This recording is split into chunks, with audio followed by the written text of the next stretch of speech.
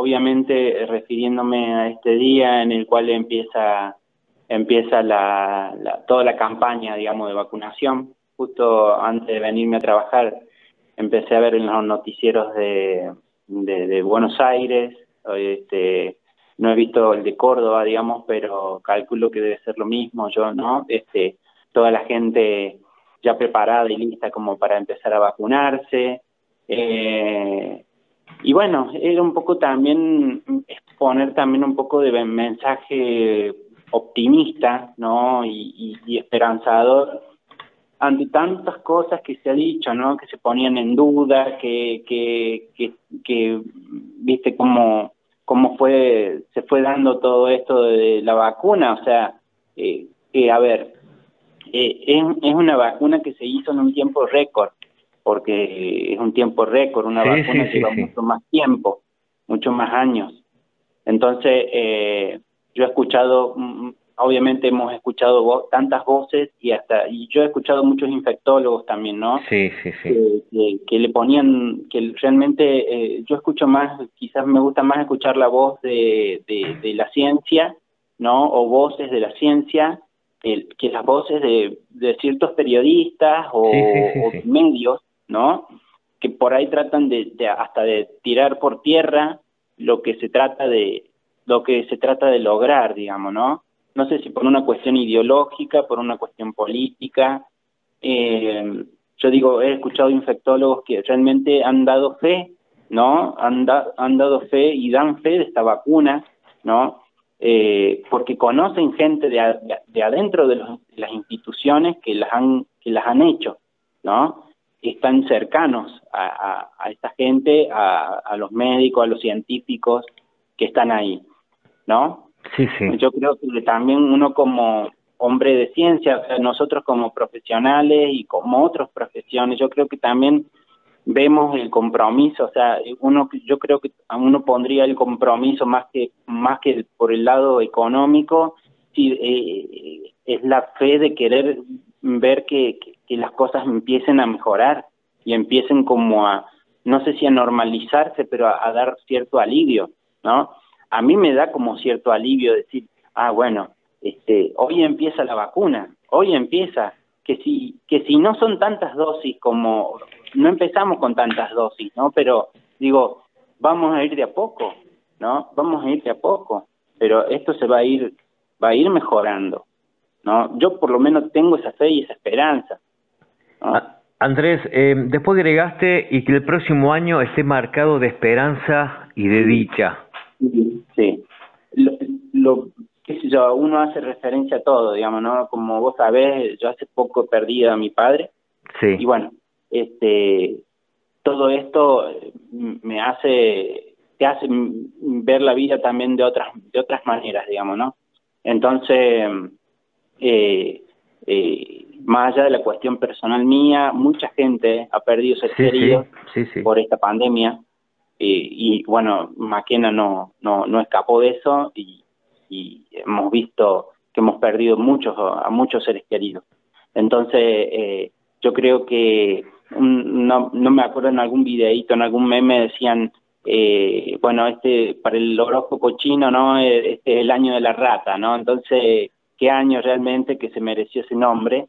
eh, y, el próximo año no es el próximo el próximo 2021 es el año del búfalo según el horóscopo chino entonces yo digo bueno eh, vamos a ir a, otra para adelante y con otra fuerza no eh, las civilizaciones muchas civilizaciones se han levantado mucho más fuertes después de, después de la guerra no sí, sí. En el caso de Europa este han, se, han, se han levantado mucho más fuerte. Entonces digo de esta de esta guerra también podemos eh, levantarnos mucho más fuerte y este y con otra mentalidad no yo creo que también tenemos que cambiar mentalidades.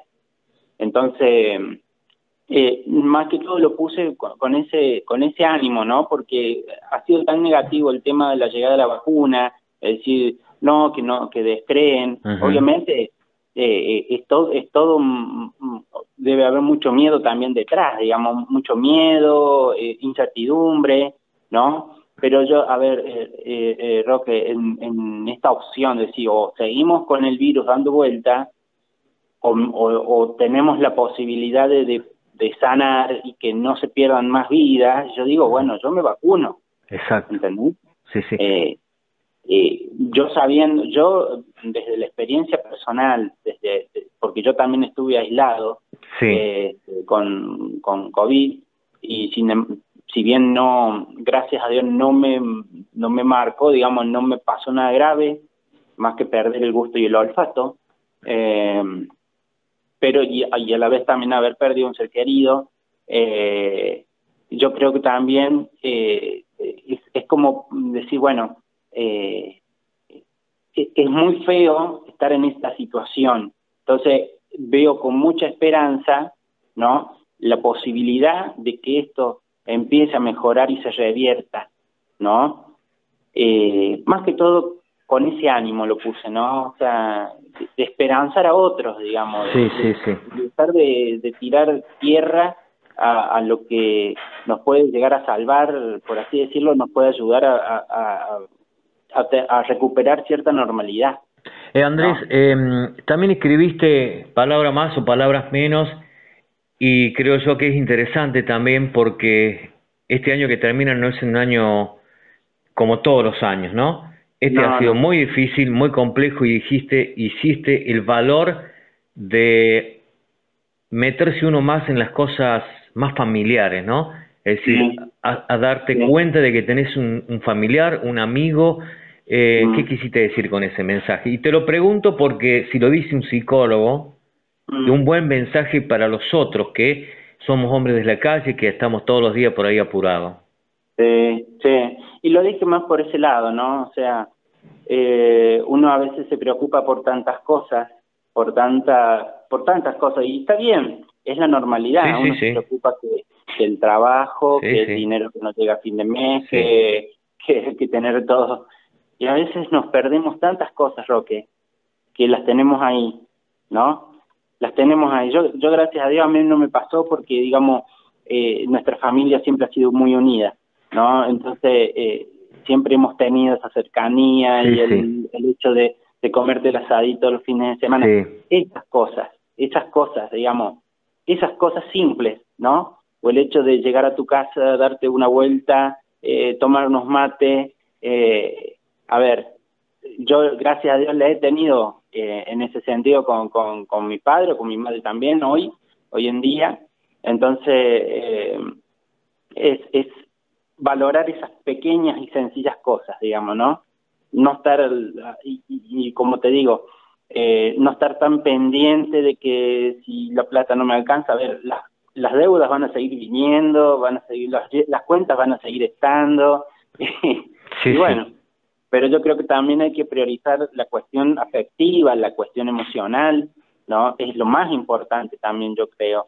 lo hemos, o sea, en ese año ha sido golpeado, la, mm, nos ha golpeado la parte, en todo, todas las áreas, digamos, ¿no? la parte, el área eh, económica, el área afectiva, el área eh, física, ¿no? Eh, todas las áreas han sido afectadas.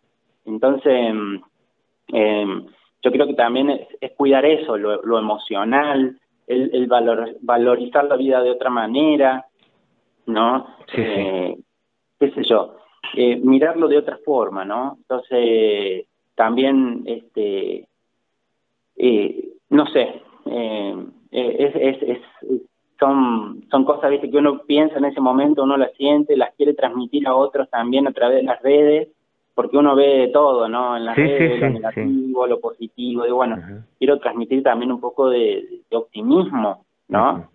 Porque he visto a tanta gente con tanto miedo, ¿no? de la vacuna, desconfianza. Digo, bueno, a ver, yo he escuchado también otras experiencias de, la, de, voluntarios, digamos, que se han puesto la vacuna y que, que les ha superado hasta el nivel de, anticuerpos que tenía, ¿no? o sea, eh, que realmente es una vacuna segura, ¿no?